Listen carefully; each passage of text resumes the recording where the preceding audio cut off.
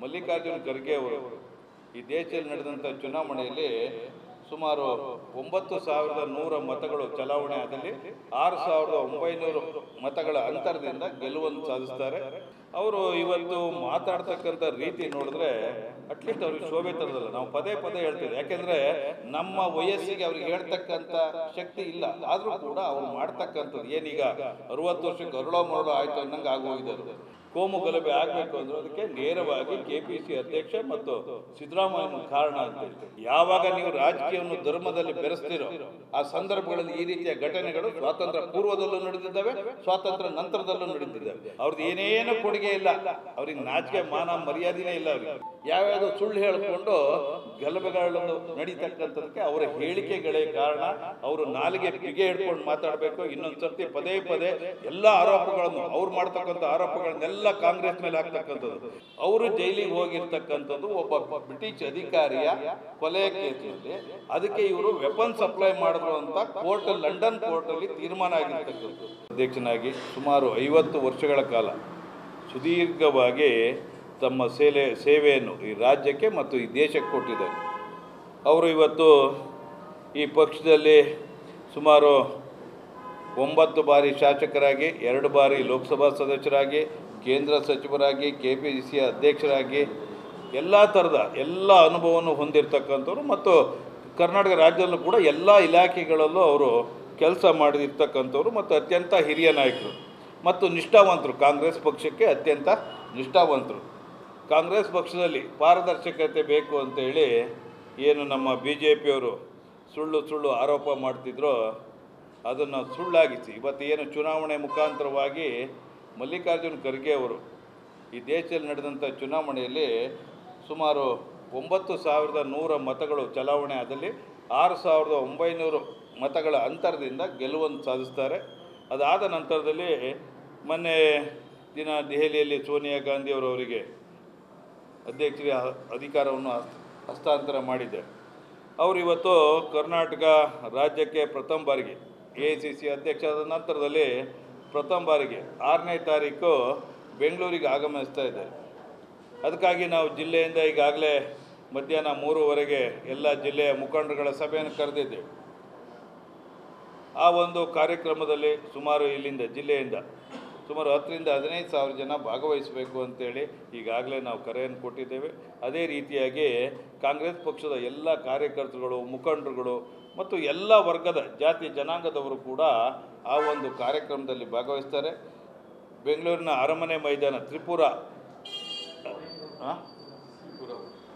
ತ್ರಿಪುರ ವಾಹಿನಿಯಲ್ಲಿ ಮಧ್ಯಾಹ್ನ ಸುಮಾರು ಒಂದು ಎರಡರಿಂದ ಎರಡೂವರೆ ಗಂಟೆಗೆ ನಮ್ಮ ಜಿಲ್ಲೆಯಿಂದ ಎಲ್ಲರೂ ನಾವು ಹೋಗಿ ಸೇರ್ಕೊಳ್ಳಿ. ಅದೇ ರೀತಿಯಾಗಿ ಸುಮಾರು ಒಂದು ಲಕ್ಷದ ಮೇಲೆ ಕಾರ್ಯಕರ್ತರು ಸೇರ್ತಕ್ಕಂಥ ಅವಕಾಶಗಳಿದ್ದಾವೆ. ಅದಕ್ಕಾಗಿ ಅವರಿಗೆ ಶಿವಮೊಗ್ಗ ಜಿಲ್ಲಾ ಕಾಂಗ್ರೆಸ್ ವತಿಯಿಂದ ಅವರ ಸುದೀರ್ಘ ಸೇವೆ ಮತ್ತು ಈ ಪಕ್ಷಕ್ಕೆ ಕೊಟ್ಟಂಥ ಕೊಡುಗೆಗಳು ಮತ್ತು ಅವರ ಪಕ್ಷ ನಿಷ್ಠೆಗೆ ಶಿವಮೊಗ್ಗ ಜಿಲ್ಲಾ ಕಾಂಗ್ರೆಸ್ ವತಿಯಿಂದ ಎಲ್ಲ ಮುಖಂಡರುಗಳ ಪರವಾಗಿ, ಪಕ್ಷದ ಎಲ್ಲ ಕಾರ್ಯಕರ್ತರ ಪರವಾಗಿ ನಾವು ಜಿಲ್ಲಾ ಕಾಂಗ್ರೆಸ್ ವತಿಯಿಂದ ಅವರಿಗೆ ಅಭಿನಂದನೆಯನ್ನು ಸಲ್ಲಿಸ್ತೇವೆ. ಆ ನಂತರದಲ್ಲಿ ದಿನ ನಮ್ಮ ಶಿವಮೊಗ್ಗ ನಗರದ ಶಾಸಕರು, ಅವರು ಪಾಪ ಭಾಳ ಹಿರಿಯರು. ಸುಮಾರು ಒಂದು ಐದು ಬಾರಿ ಶಾಸಕರಾಗಿದ್ದಾರೆ. ಅವರು ಭಾಳಷ್ಟು ಮಂತ್ರಿಗಳಾಗಿ ಸೇವೆಗಳನ್ನು ಸಲ್ಲಿಸಿದ್ದಾರೆ. ಅವರು ಇವತ್ತು ಮಾತಾಡ್ತಕ್ಕಂಥ ರೀತಿ ನೋಡಿದ್ರೆ ಅಟ್ಲೀಸ್ಟ್ ಅವ್ರಿಗೆ ಶೋಭೆ ತರದಲ್ಲ. ನಾವು ಪದೇ ಪದೇ ಹೇಳ್ತೇವೆ. ಯಾಕೆಂದರೆ ನಮ್ಮ ವಯಸ್ಸಿಗೆ ಅವ್ರಿಗೆ ಹೇಳ್ತಕ್ಕಂಥ ಶಕ್ತಿ ಇಲ್ಲ. ಆದರೂ ಕೂಡ ಅವ್ರು ಮಾಡ್ತಕ್ಕಂಥದ್ದು ಏನೀಗ ಅರುವತ್ತು ವರ್ಷಕ್ಕೆ ಅರಳೋ ಮರಳೋ ಆಯಿತು ಅನ್ನಂಗೆ ಆಗೋಗಿದ್ದರು. ನಿನ್ನೆ ದಿನ ಡಿ ಕೆ ಶಿವಕುಮಾರ್ ಮತ್ತು ಸಿದ್ದರಾಮಯ್ಯರ ಮೇಲೆ ನೇರ ಆರೋಪ ಮಾಡಿದ್ದಾರೆ. ಇವತ್ತು ಏನಾದರೂ ಕೋಮು ಗಲಭೆ ಆಗಬೇಕು ಅಂದರೆ ಅದಕ್ಕೆ ನೇರವಾಗಿ ಕೆ ಪಿ ಸಿ ಅಧ್ಯಕ್ಷ ಮತ್ತು ಸಿದ್ದರಾಮಯ್ಯನ ಕಾರಣ ಅಂತೇಳಿ. ಯಾಕೆಂದರೆ ಕೆ ಪಿ ಸಿ ಸಿ ಅಧ್ಯಕ್ಷರು ಇವತ್ತಿನ ಮುಖ್ಯಮಂತ್ರಿ ಅಲ್ಲ ಸಿದ್ದರಾಮಯ್ಯರು ಇವತ್ತು ನಾಲ್ಕು ವರ್ಷಗಳ ಹತ್ತಿರ ಬಂದಿದೆ ಬಿ ಜೆ ಪಿ ಸರ್ಕಾರ ಬಂದು. ಅವರು ಸರ್ಕಾರ ಬಂದ ಮೇಲೆ ಇಡೀ ರಾಜ್ಯದಲ್ಲಿ ಮತ್ತು ಕೇಂದ್ರದ ಸರ್ಕಾರ ಬಂದ ಮೇಲೆ ಸಾವಿರಾರು ಸಾವು ನೋವುಗಳಾಗಿದ್ದಾವೆ ಅದು ಯಾವ ಕೋಮಿಂದು ಏನು ಅನ್ನೋ ಪ್ರಶ್ನೆ ಬೇಕಾಗಿಲ್ಲ. ಯಾಕೆ ಅಂತ ಹೇಳಿದ್ರೆ, ಯಾವಾಗ ನೀವು ರಾಜಕೀಯವನ್ನು ಧರ್ಮದಲ್ಲಿ ಬೆರೆಸ್ತಿರೋ ಆ ಸಂದರ್ಭಗಳಲ್ಲಿ ಈ ರೀತಿಯ ಘಟನೆಗಳು ಸ್ವಾತಂತ್ರ್ಯ ಪೂರ್ವದಲ್ಲೂ ನಡೆದಿದ್ದಾವೆ, ಸ್ವಾತಂತ್ರ್ಯ ನಂತರದಲ್ಲೂ ನಡೆದಿದ್ದಾವೆ. ಇವರು ರಾಜಕೀಯ ಮಾಡ್ತಕ್ಕಂಥವ್ರು ಈಶ್ವರಪ್ಪನವರು ಇಪ್ಪತ್ತೈದು ವರ್ಷ ಇಲ್ಲಿ ಶಾಸಕರಾಗಿ, ಬರೀ ಇದೇ ವಿಚಾರದಲ್ಲೇ ಶಾಸಕರಾಗಿ ಬಂದರು. ಅವ್ರದ್ದು ಏನೇನೋ ಕೊಡುಗೆ ಇಲ್ಲ. ಅವ್ರಿಗೆ ನಾಚಿಕೆ, ಮಾನ, ಮರ್ಯಾದೆನೇ ಇಲ್ಲ ಅವ್ರಿಗೆ. ಯಾಕೆ ಅಂತ ಹೇಳಿದ್ರೆ, ಇವತ್ತು ಶಿವಮೊಗ್ಗದಲ್ಲಿ ಏನಾದರೂ ಈ ಸ್ಥಿತಿ ಬರೋಕ್ಕೆ ನೇರವಾಗಿ ಈಶ್ವರಪ್ಪನವ್ರು ಕಾರಣ ಆಗ್ತಾರೆ. ಯಾಕೆ ಅಂತ ಹೇಳ್ತೀನಿ. ಅವ್ರು ಕೊಡ್ತಕ್ಕಂಥ ಹೇಳಿಕೆಗಳು, ಪ್ರತಿಯೊಂದು ಹೇಳಿಕೆಗಳು ಎಂಥ ಮಲಗ್ದವನ್ನು ಎಬ್ಬಿಸುತ್ತೆ. ಯಾವ ಧರ್ಮದವರು ಆಗಿರಲಿ ಇವಾಗ ಸಂವಿಧಾನ ತಿದ್ದುಪಡಿ ಮಾಡೋಕ್ಕೆ ಹೋಗ್ತಕ್ಕಂಥದ್ದು, ಸಂವಿಧಾನದಲ್ಲಿ ಇರ್ತಕ್ಕಂಥ ಎಲ್ಲ ವಿಷಯವನ್ನು ತಿರ್ಚಿ, ಈ ದೇಶದಲ್ಲಿ ಅಶಾಂತಿ ಹುಟ್ಟತಕ್ಕಂಥ ಹುಟ್ಟಾಗ್ತಕ್ಕಂಥ ಕೆಲಸವನ್ನು ಬಿ ಜೆ ಪಿಯ ಕೇಂದ್ರ ಮತ್ತು ರಾಜ್ಯ ಸರ್ಕಾರಗಳ ಅಲ್ಲಿರ್ತಕ್ಕಂಥ ಸಚಿವರುಗಳು, ಶಾಸಕರುಗಳು ಪದೇ ಲೋಕಸಭಾ ಸದಸ್ಯರು ಪದೇ ಪದೇ ಮಾಡ್ತಾ ಇದ್ದಾರೆ. ಇವತ್ತು ಶಿವಮೊಗ್ಗದಲ್ಲಿ ಇವ್ರನ್ನ ಇಪ್ಪತ್ತೈದು ವರ್ಷ ಜನ ಶಾಸಕರು ಮಾಡಿದ್ದಾರೆ. ಇವತ್ತು ಯಾರು ಕೋಮಿನ ಮಕ್ಕಳಾರು ಆಗಲಿ, ಅವರು ಬಡವರು ಅವ್ರನ್ನ ಇವತ್ತು ಎಷ್ಟು ಇವ್ರಿಗೆ ಇನ್ನೂ ಬೀದಿಯಲ್ಲಿ ಹೆಣ ಬೀಳಬೇಕೋ ಗೊತ್ತಿಲ್ಲ. ಇವರು ರಾಜಕೀಯ ದಹಕ್ಕೆ ನನಗೆ ಅರ್ಥನೇ ಆಗ್ತಾ ಇಲ್ಲ. ಯಾಕೆಂದರೆ ಪದೇ ಪದೇ ಚುನಾವಣೆ ಬಂದಂಥ ಸಂದರ್ಭಗಳಲ್ಲಿ ಯಾವ್ಯಾವುದೋ ವಿಷಯಗಳನ್ನು ತಂದು, ಧರ್ಮಗಳನ್ನು ಎತ್ಕಟ್ಟಿ, ಜನಗಳನ್ನು ಈಗಿರ್ತಕ್ಕಂಥ ಪಾಪ ಯುವಕರಿಗೆ ಏನೂ ಇತಿಹಾಸ ಗೊತ್ತಿಲ್ಲ. ಇತಿಹಾಸವನ್ನು ತಿರ್ಚಿ ಯಾವ್ಯಾವುದೋ ಸುಳ್ಳು ಹೇಳಿಕೊಂಡು ಗಲಭೆಗಳನ್ನು ನಡೀತಕ್ಕಂಥದಕ್ಕೆ ಅವರ ಹೇಳಿಕೆಗಳೇ ಕಾರಣ. ಅವರು ನಾಲಿಗೆ ಬಿಗೆ ಹಿಡ್ಕೊಂಡು ಮಾತಾಡಬೇಕು. ಇನ್ನೊಂದು ಸರ್ತಿ ಪದೇ ಪದೇ ಎಲ್ಲ ಆರೋಪಗಳನ್ನು, ಅವ್ರು ಮಾಡ್ತಕ್ಕಂಥ ಆರೋಪಗಳನ್ನೆಲ್ಲ ಕಾಂಗ್ರೆಸ್ ಮೇಲೆ ಹಾಕ್ತಕ್ಕಂಥದ್ದು. ಭ್ರಷ್ಟಾಚಾರದಿಂದ ಇಡೀ ಸರ್ಕಾರ ಕೊಳತು ನಾರ್ತಾ ಇದೆ. ಮಾನ ಮರ್ಯಾದೆ ಇಲ್ಲ ಅವರಿಗೆ. ಮೊನ್ನೆ ಅವ್ನು ಸಂತೋಷ್ ಪಾಟೀಲ್ ಆತ್ಮಹತ್ಯೆ ಆಯಿತು. ಅದಾದಮೇಲೆ ಈಗಾಗಲೇ ದಯಾಮರಣಕ್ಕೆ ರಾಷ್ಟ್ರಪತಿಗೆ ಒಬ್ಬ ಗುತ್ತಿಗೆದಾರ ಪತ್ರ ಬರೆದಿದ್ದಾನೆ. ಮೊನ್ನೆ ಅಲ್ಯಾರೋ ಒಬ್ಬರು ರಾಜ್ಯದಲ್ಲಿ ಗೌರ್ನರಿಗೆ ಬರೆದಿದ್ದಾರೆ. ಇವರು ಇಡೀ ಸರ್ಕಾರ ಭ್ರಷ್ಟಾಚಾರದಲ್ಲಿ ಕೊಳತು ನಾರ್ತಾ ಇದೆ. ಇವರು ಇಲ್ಲಿ ವೇದಾಂತವನ್ನು ಹೇಳ್ತಕ್ಕಂಥದ್ದು.